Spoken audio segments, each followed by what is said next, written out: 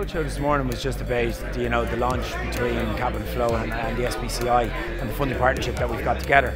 Um, so we put together a nice mix of different businesses um, to talk about resilience and growth for SMEs out there in the market. And we brought in uh, Siobhan McGrath, Dublin All-Star. I think resilience is a massive part um, to play in both sport and business. Um, being able to make mistakes in the past and learn from them to be able to go back and self evaluate and critique yourself um, to bring that into your business world is massive as well. Next year or two the challenges that will be faced um, will be massive but also there's going to be potential for a lot of opportunities. The, the whole thing was kind of around you know high performance and resilience and by making small changes will actually make you successful uh, both from a competitor point of view and also uh, from a business end of things as well. The opportunities that could be there for them um, is great um, and to have the likes of Capital Flow coming in and helping to fund that um, and to be behind them and to encourage them all the way is, is a massive and it's, it's, it's a great thing what they're doing.